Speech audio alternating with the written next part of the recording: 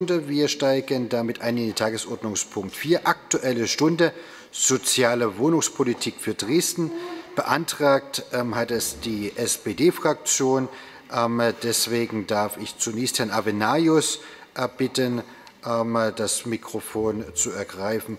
Und danach beginnen wir mit der Fraktionsrunde. Es beginnen dann Bündnis 90 Die Grünen.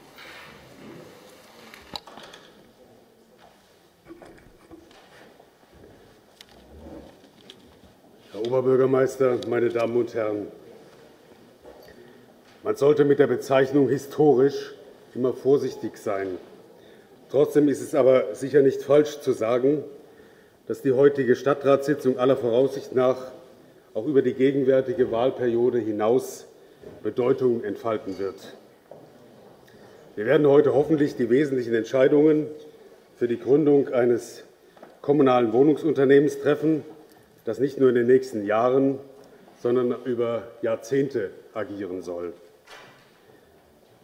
Schließlich ist das das Wesen jeder Wohnungs- oder besser gesagt Wohnpolitik, dass sie langfristig ausgerichtet ist und nicht etwa auf die Dauer von Wahlperioden. Die anstehende Entscheidung zur Wohnungsgesellschaft ist deshalb ein Anlass, die Rahmenbedingungen zu beleuchten, in denen dieses Unternehmen aufgebaut werden soll. Die Landeshauptstadt Dresden wird bis zum Jahre 2030 insbesondere wegen der prognostizierten Geburtenentwicklung, der längeren Lebenserwartung der Menschen und den sich aus den Stadt-Land-Bewegungen zu erwartenden Zuzugsbewegungen auf 580.000 möglicherweise sogar auf 600.000 Einwohner wachsen. Andererseits erleben wir in den letzten Jahren eine zunehmend dramatische Form annehmende Verringerung des Wohnungsleerstandes, der sich inzwischen auf etwa, nur etwa 2 Prozent beläuft. Dies hat wiederum zu einem dramatischen Anstieg des Mietenniveaus geführt, insbesondere bei der Wiedervermietung frei werdender Wohnungen. Damit steigt wiederum der Anteil der Dresdnerinnen und Dresdner, für die es nicht selbstverständlich ist, auch bei einem durchschnittlichen Einkommen noch eine ihren Bedürfnissen entsprechende Wohnung zu finden. Ihr Einkommen gibt inzwischen nicht mehr her, wozu es vor einigen Jahren hergegeben hätte.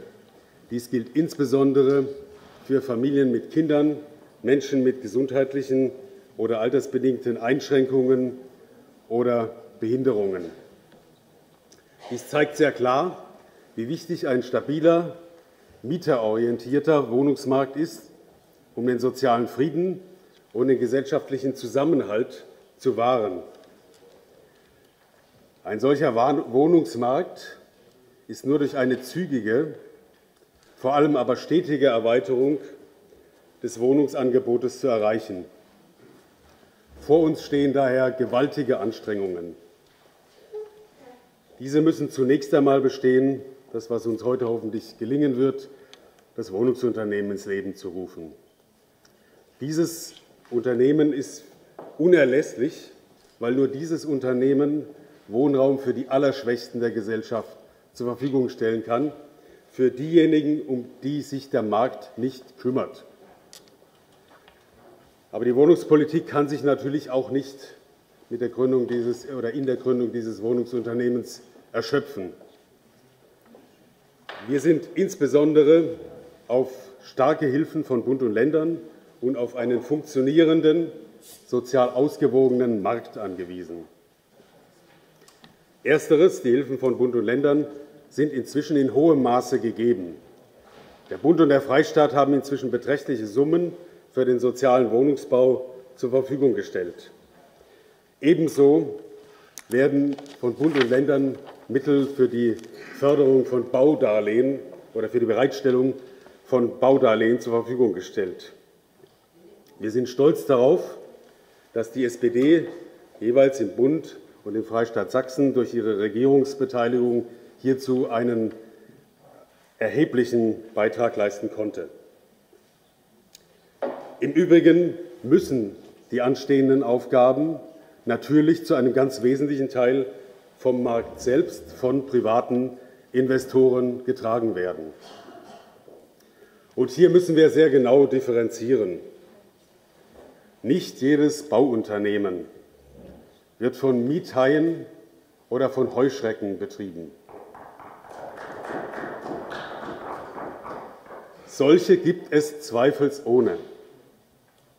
Und denen sollte man so schnell wie möglich und so gut wie möglich in die Parade fahren.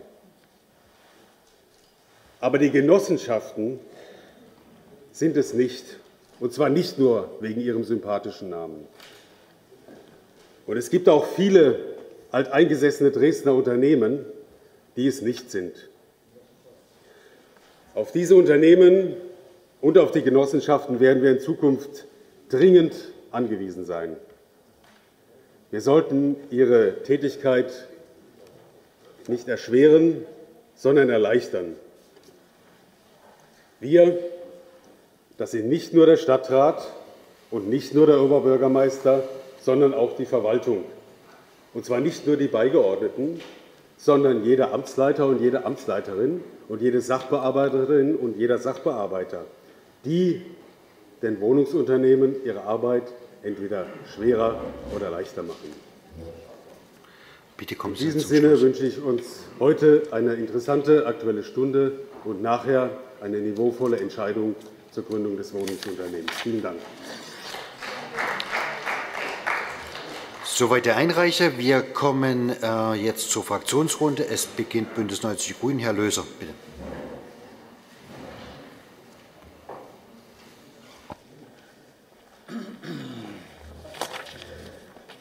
Liebe Kollegen, sehr geehrter Oberbürgermeister, liebe Gäste, ähm, für die Grünen in ihrem Selbstverständnis stehen wir für die Themen ökologisch, sozial und demokratisch. Und ich wollte Ihnen eigentlich eine Karte zeigen, das geht jetzt leider nicht, die Sachsen zeigt, 2017 und wo angezeigt wird, wie sich eigentlich momentan äh, die Mietpreise in Sachsen verhalten. Und da haben Sie ganz viel Grün, das ist so 5, 6 Euro, dann haben Sie ein bisschen Gelb, das ist so um die Leipziger Gegend und dann haben Sie vor allen Dingen einen Punkt, wo es ganz schnell rot wird, das ist dort, wo Dresden liegt. Dieses Thema bezahlbares Wohnen für uns Grüne ist sehr, sehr wichtig. Und wir glauben vor allen Dingen, dass äh, die sagen wir mal, gesellschaftliche Situation in den letzten 20 Jahren, die schon geprägt war von einem sehr starken äh, neoliberalen Gedankengut, auch dazu geführt hat, dass wir heute in dieser äh, Situation sind, die noch dazu aus meiner Sicht vor allen Dingen die politischen Ränder stärkt. Der Glaube, dass die Ökonomie alles regelt, ist falsch. Wir werden das in den nächsten Jahrzehnten beobachten, sondern wir brauchen, das glauben wir ganz fest, in wesentlichen Punkten Steuerung und das ist unsere politische Aufgabe. Ich will noch mal kurz sagen, 1990 hatte diese Stadt 170.000 Wohnungen bei der KWV, viele in ganz schlechtem Zustand. 2006 hat sich dieser Stadtrat gegen die Stimmen der Grünen, gegen den Totalverkauf, den wir immer abgelehnt haben, entschieden, dieses Wohnungsunternehmen dann zu verkaufen. Wir haben heute noch 700 Wohnungen ähm, in verschiedenen ähm, Trägern bei der Stadt. Wir haben aber auch jetzt andere Zeiten. Es wurde bereits darauf hingewiesen, der Bedarf an Wohnraum steigt, 2 Prozent Leerstand. Seit zwei Jahren liegen wir über dem Durchschnitt deutschlandweit, was die Mieten angeht, und das bei 75, 80 Prozent Lohnniveau. Wir haben in Dresden auch einen Bauboom, unter anderem auch verursacht durch unsere gute Politik, das sage ich ganz ernsthaft. Aber dieser Bauboom, der deckt vor allen Dingen das Segment ab von 10-Euro-Wohnungen, ganz oft Eigentumswohnungen, ganz oft stehen da Renditeobjekte und vor allen Dingen die Mietwohnungen im unteren Preissegment und vor allen Dingen auch die für Familien, die fehlen uns. Und genau das ist ein Grund, warum wir diese Gesellschaft dringend gründen müssen. Wir müssen sie aber auch dringend gründen. Und das ist ein Aspekt, der noch nicht erwähnt wurde, weil wir wissen, dass in einigen Jahren die Belegrechte bei der jetzigen Vonovia auslaufen und wir die dann teuer kaufen müssten. Auch dafür brauchen wir unbedingt diese neue Wohnungsgesellschaft. Und ich will gleich dem entgegentreten, was uns dann vielleicht als Vorwurf von Seiten der CDU gemacht wurde. In der Zeitung war es ja schon zu hören. Wie wollt ihr denn damit Steuern auf die Mietpreise einwirken? Da sage ich Ihnen ganz ehrlich gar nicht. Das ist auch überhaupt nicht das Ziel dieser Gesellschaft. Und das haben wir als Grüne auch nie behauptet. Denn wir wissen, dass man 30 Prozent ungefähr ähm, da, sagen wir mal, Wohnungen braucht, um überhaupt da aktiv werden zu können. Und ich sage Ihnen auch klar, in Berlin mit sechs städtischen Gesellschaften und einem sehr großen Vermögen gab es in den letzten fünf Jahren 32 Prozent Mieterhöhung. Das ist nicht das Thema, das sagen wir Ihnen auch ganz klar, sondern unser Thema ist, dass wir in diesen Gesellschaften steuern. Und in Berlin wird seit kurzer Zeit gesteuert, unter anderem von RGR und das sehr radikal und wie ich finde vollkommen zu Recht. Die Gründung so einer Gesellschaft, meine Damen und Herren, vollzieht man nicht alle Tage. Man macht das auch nicht für Parteien, sondern für die Dresdner Bürger und Bürger. Und deswegen ist es so wichtig, dass man da sehr genau schaut, was man da eigentlich gründet und was man da reinschreibt. Wir haben als Grüne in Verhandlungen mit den Partnern sehr viele Punkte vorgebracht, von denen ich Ihnen die drei wichtigsten jetzt noch mal kurz nennen möchte. Ich habe vorhin gesagt, wir verstehen uns als demokratisch. Und ich sage Ihnen, die Beteiligung der Mieter und Mieterinnen ist für uns ein sehr wichtiges Element. Deswegen haben wir in diesem FL-Bericht einen Mieterbeirat hineingestimmt, den uns die Verwaltung bitte vorlegen soll. Wir glauben, dass diese Partizipation der Mieter an dieser neuen Gesellschaft sehr wichtig ist.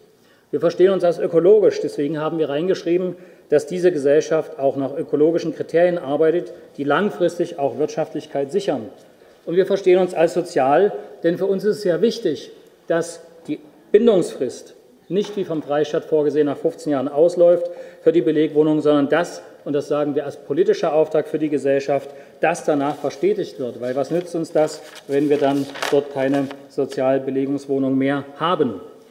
Diese neue Gesellschaft ist allerdings auch nur ein Instrument, um auf den Wohnungsmarkt einzuwirken. Und ich sage Ihnen ganz klar, RGR hat durchgesetzt, dass wir bei Verkauf von städtischen Grundstücken sichern, dass 15 Prozent für Sozialwohnungen dort reingeschrieben werden. Wir verhandeln auch jedes Mal hart, und da werden wir von Ihnen immer kritisiert, bei privaten Vorhabenträgern mit größeren Bauvorhaben, versuchen dort Sozialwohnungen oder andere wichtige kommunale äh, Daseinspflichten hineinzuverhandeln. Und ich sage Ihnen mal ganz ehrlich, liebe Kollegen von der CDU, dass AfD und FDP als Neoliberale das hier ablehnen, das ist ja ganz klar, das haben Sie auch angekündigt. Aber die CDU, die eiert hier sowas von rum und das noch vor Ostern. Ich will Ihnen das mal kurz zeigen. Sie haben im Wahlkampf gesagt, mit Ihrem Kandidaten Herrn Ulbich, 5000 Wohnungen wollen Sie bauen in einem kommunalen Unternehmen. Jetzt werden Sie heute höchstwahrscheinlich diese Gesellschaft ablehnen. Zumindest habe ich das alles so verstanden.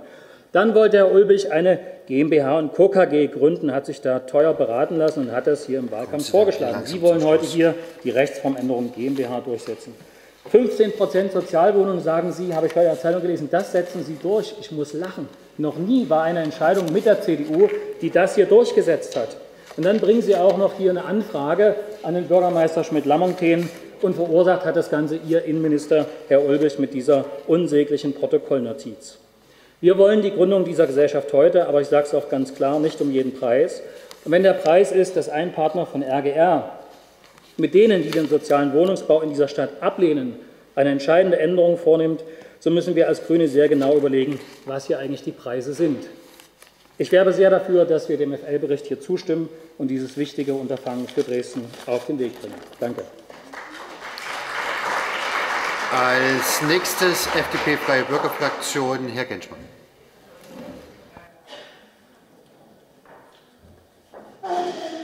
Sehr geehrter Herr Oberbürgermeister, sehr geehrte Damen und Herren Stadträte, selbstverständlich ist es wichtig, dass wir als Stadträte und auch als Verwaltung uns um die Wohnungspolitik in Dresden kümmern.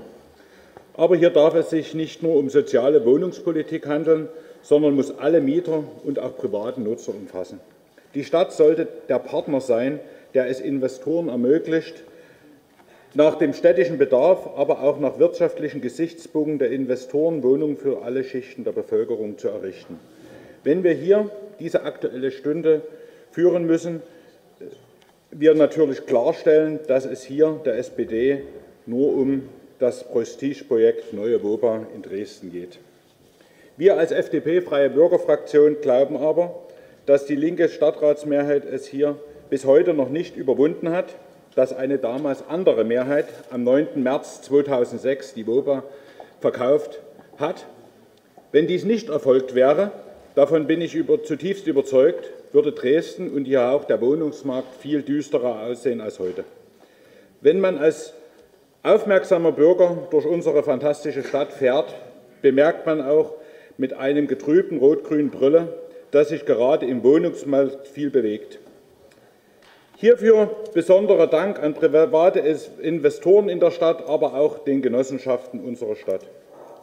Für uns als FDP Freie Bürgerfraktion ist es besonders äh, besorgniserregend, wie diese Gestaltungsmehrheit die Errungenschaften des Verkaufs der WOBA und hier meine ich die Schuldenfreiheit aufs Spiel setzt. Gerade die Diskussion um die neue WOBA zeigt dies sehr deutlich. Hier werden Investoren von seriösen, äh, Investitionen von seriösen Partnern in der Stadt verhindert, nur um das ideologische Wunschprojekt einer neuen WOBA zu realisieren.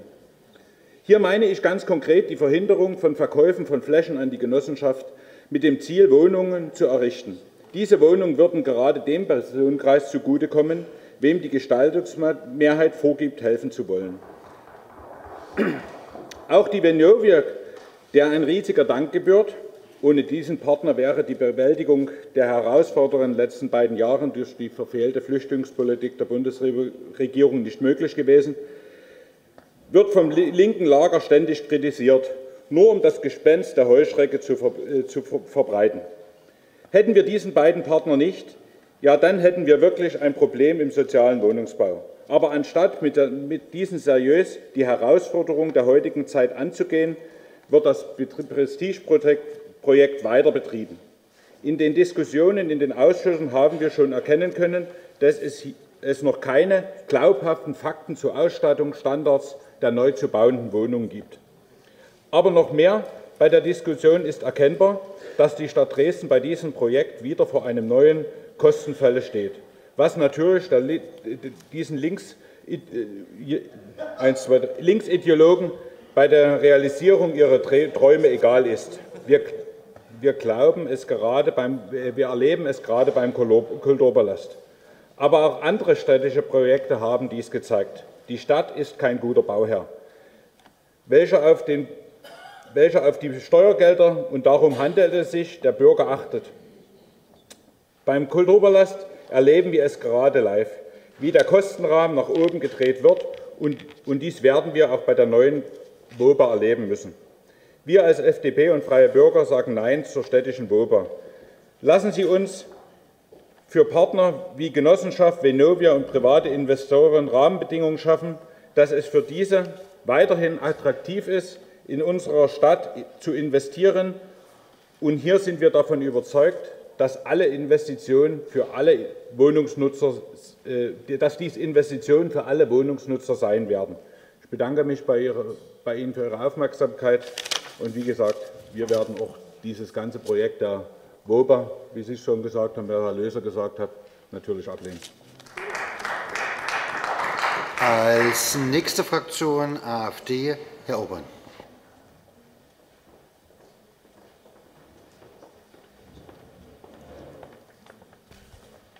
Sehr geehrter Herr Oberbürgermeister, sehr geehrte Stadträte, liebe Dresdnerinnen und Dresdner, eine aktuelle Stunde zum Thema soziale Wohnungspolitik in Dresden damit sich die Bürger einen Eindruck davon verschaffen können, wie die verschiedenen Fraktionen zu dem Thema stehen. Das ist theoretisch eine gute Sache. Das klingt nach Transparenz und auch nach Bürgernähe. Nötig ist eine solche aktuelle Stunde heute aber gerade nicht. Die linke Mehrheit beschließt heute die neue WOBA und der Bürger guckt trotzdem in die Röhre. Er hat nämlich nicht die geringste Möglichkeit, das Desaster, welches Sie heute sehenden Auges anrichten wollen, zu verhindern. Schwerpunkte, die die SPD-Fraktion benannt hat, die sind recht kurz abgehandelt. Dresden wächst und hat einen erhöhten Bedarf nach Wohnungen, ja. Gleichzeitig steigen die Mieten. Im Vergleich zu vielen anderen Kommunen, die im Wachstum begriffen sind, ist dieser Anstieg aber recht moderat in Dresden. Bestandsmieten bleiben sogar recht stabil. Vornehmlich die neu errichteten Wohnungen werden über den Bestandsmieten platziert, was natürlich auch Auswirkungen auf den Mietspiegel hat. Der Wohnungsneubau, der in der Phase einer negativen Einwohnerentwicklung stagnierte, zieht seit den letzten fünf Jahren wieder deutlich an und hat 2015 mit 1500 neuen Wohnungen sicherlich noch nicht seinen Höchststand erreicht.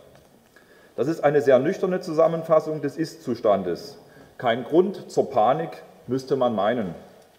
Aber besonders die linke Seite des Dresdner Stadtrates versucht, mit lautstarken Kommentaren genau das Gegenteil herbeizureden. Richtig ist, dass das Wachstum einer Stadt notwendigerweise Probleme vor allen Dingen für sehr niedrige Mieten mit sich bringt. Umso attraktiver eine Stadt, desto teurer wird sie auch. Aber auch andere Faktoren haben einen wesentlichen Einfluss auf Mietentwicklungen. Die allgemeine Preisentwicklung, gesetzliche Vorgaben, die Entwicklung der Reallöhne, Verwerfungen am Kapitalmarkt, um nur einige Punkte aufzugreifen. Und ich greife das Thema allgemeine Preisentwicklung auf, die Inflation also. Schwierig ist das so lange nicht, wie sich im gleichen Zeitraum auch die Einkommen entsprechend der Inflationsrate erhöhen. Passt das Einkommen aber nicht entsprechend sich an oder steigen die Abgabenlasten für die Bürger, dann wird es natürlich schwierig. Mehr Netto vom Brutto ist eine sehr einfache Formel, aber sie trifft den Nagel auf den Kopf. Soziale Politik würde bedeuten, den Menschen ihr oftmals schwer verdientes Geld in der Tasche zu lassen. Für die gegenteilige Entwicklung sind aber genau jene mitverantwortlich, die jetzt am lautesten nach sozialer Politik schreien. Obwohl der Fiskus jedes Jahr mehr Geld einsammelt und es auf der anderen Seite mit vollen Händen zum Fenster rauswirft, bleibt dem Durchschnittsbürger eben am Ende nichts übrig. Der sieht sein Erspartes im Gegenteil durch Nullzins und Inflation eher dahinschwinden. Das Lamento, was Sie heute anstimmen, finde ich verlogen. Wenn Sie wirklich soziale Politik betreiben wollen und konkret hier in Dresden soziale Wohnungspolitik, dann befreien Sie den Bürger von den Abgabenlasten. Die WOBA, die ja im Kern, die ja der Kern der heutigen Debatte ist, dient hier als bestes Beispiel einer falschen Politik. Anstatt den wirklich bedürftigen Menschen ganz konkret und individuell, individuell zu helfen, konzentrieren Sie sich auf einen prestigeträchtigen und teuren Aufbau einer neuen kommunalen äh, Wohnungsgesellschaft. Anstatt zielgenau Mittel zu verwenden, wird wieder Geld mit der Gießkanne zum Fenster hinausgeworfen. Um die Ziele zu erreichen, die Ihnen vorschweben, nämlich 8000 Wohnungen, werden horrende Mittel benötigt, die am Ende der normale, hart arbeitende Bürger aufzubringen hat. Was Sie betreiben, ist keine soziale Politik, sondern eine Verschwendung der knappen Ressource Geld zulasten derjenigen, die dieses Geld erarbeiten und oftmals ebenfalls nicht auf Rosen gebettet sind. Vielen Dank. Als nächste Fraktion CDU-Fraktion Herr Donhauser. Sehr geehrter Herr Oberbürgermeister, sehr geehrte Damen und Herren Stadträte, auch ich muss sagen, und es wäre vielleicht noch im Nachgang ganz gut, Herr Abenaus, dass Sie mir noch mal erklären, warum heute diese Aktuelle Stunde. Und das sage ich deshalb, warum heute diese Aktuelle Stunde, weil natürlich ein wesentlicher Tagesordnungspunkt ja dann die äh, bevorstehende Gründung der WOBA sein wird. Und so ist es ja gekommen musste ich jetzt jedenfalls feststellen, dass es in der Aktuellen Stunde fast ausschließlich um die Wobergründung geht. Und da muss ich sagen, auch insbesondere, dass wir ja in den letzten Stadtrat und vorletzten Stadtrat, und dann könnten noch weitere Stadträte hinzuziehen, dass wir immer wieder Grundsatzdebatten über das soziale Wohnen in Dresden geführt haben. Jetzt hat natürlich jede Fraktion das gute Recht, eine Aktuelle Stunde zu beantragen. Und ich will jetzt nie oberlehrerhaft äh, äh, klingen, aber wenn ich in der Schule so einen Vortrag äh, in Auftrag gegeben hätten und die Schüler hätten vorgetragen, da hätten heute einige das Thema verfehlt. Das muss ich ganz eindeutig sagen. So, jetzt haben wir aber das Thema, jetzt haben wir aber das Thema und deswegen möchte ich ganz persönlich gar nicht über die WOBA reden jetzt, weil dazu haben wir den anderen Tagesordnungspunkt und eigentlich nochmal die Aufmerksamkeit darauf lenken, das haben einige gesagt, dass soziale Wohnungspolitik natürlich viel mehr ist als die WOBA.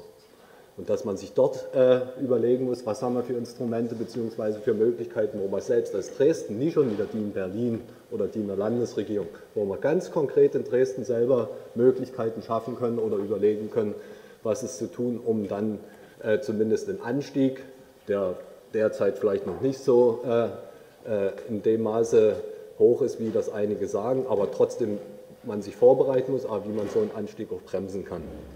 Und deswegen will ich noch mal auf drei Aspekte in dieser Aktuellen Stunde eingehen. Es kommt aus meiner Sicht viel zu kurz in der Debatte, was das ganze Thema Nebenkosten angeht. Mietnebenkosten. Und da haben wir Beispiele, wo die Mietnebenkosten manchmal schon an dem dran sind, was die eigentliche Miete kostet. Und natürlich sind die Nebenkosten unterschiedlich zusammengesetzt und sind nicht durch den Stadtrat oder viele nicht unmittelbar beeinflussbar. Und doch gibt es Nebenkosten, wo wir durchaus Möglichkeiten haben, im Stadtrat zu gucken, ob es die eine oder andere Stellschraube gibt, dort den Bürger oder den Mieter zu entlasten, mit dem Vorteil übrigens, dass alle Mieterinnen und Mieter profitieren können. und nicht nur bestimmte Gruppen. Deswegen äh, wäre es äh, meine Anregung, dass wir in den nächsten Monaten auch mal darüber diskutieren, in den Ausschüssen vor allen Dingen, gibt es dort Möglichkeiten, um einen Anstieg dieser Nebenkosten entgegenzutreten. Und äh, kleine Bemerkung noch am Rande. Äh, Herr Obern hat es eben gerade gesagt, was die Abgabenlasten angeht. Und Herr Bartels hat ja gesagt, 10 Euro, und da stimme ich zu, im Monat mehr ist schon ziemlich viel. Ah, dann frage ich mich allen Ernstes, warum Sie die Parkgebühren erhöhen. Das passt ja dann alles nicht richtig zusammen. Das muss man dann schon mal, das, das muss man dann schon noch mal sagen dürfen. So, also nochmal Thema Nebenkosten. Zweites Thema, das haben Sie angesprochen, Herr Avenarius, das, das ist wirklich das, was wir selber tun können, die Verwaltung zu bitten, was Genehmigungsverfahren bzw. auch der Umgang mit Investoren angeht, dass man dort darauf achtet, dass das zügig abgewickelt werden kann, keine Behinderungen stattfinden. So, darauf haben wir aber auch nur begrenzten Einfluss. Aber was Sie vergessen haben, Herr Avenarius, was wir selber als Stadtrat tun können. Wir sind nämlich teilweise auch die Bremse hier, wenn es darum geht, Investitionen zu fördern. Und deswegen, ich habe es erfreut gehört, aber wiederum war ich ein bisschen erstaunt, dass das jetzt kommt, wenn Sie sagen, Genossenschaften müssen unterstützt werden. Aber selber hat Rot-Rot-Grün vor ein paar Monaten abgelehnt, entsprechende Grundstücke den Genossenschaften zum Kauf anzubieten. Und da kann man immer äh, auch sagen, okay, die Meinung hat sich geändert, aber das wäre zum Beispiel eine Sache, wo man sich daran erinnern werden, wenn es darum geht, dann auch neben der WOBA, die ja wahrscheinlich nie aufzuhalten ist, aber genauso die Privaten und die Genossenschaften dann gleich zu behandeln und auch äh, äh, beim Wohnungsneubau zu unterstützen. Und das gehört auch dazu, äh, was den Stadtrat angeht, wir müssen ernsthaft überprüfen, ob die vielen Gremiensitzungen, die wir zu bestimmten Bauvorhaben, wenn es um Wohnungsbau auch geht, Werkstattverfahren und so weiter, wirklich zielführend sind und immer unter der Maßgabe, wir brauchen hier Schnellwohnungen.